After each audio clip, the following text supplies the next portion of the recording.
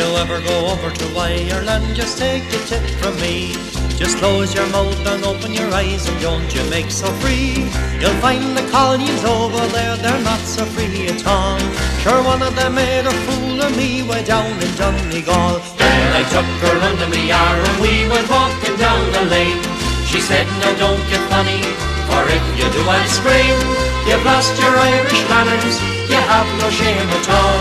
And your Yankee boss don't mean a thing to the girls in Donegal.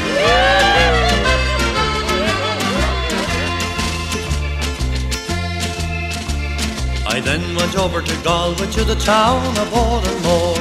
There I met a lassie, Mary Ann Gilmore. She said, You are a stranger, I never saw you before. And we don't play tramps and hobos in the town of Baltimore. Well, I took her under me oxter, we went walking down the lane. She said, No, don't get funny, for if you do, I'll scream. I gave her a wink, what do you think? She lies awake a store. And she scratched me nose and she tore me clothes in the town of Oranmore.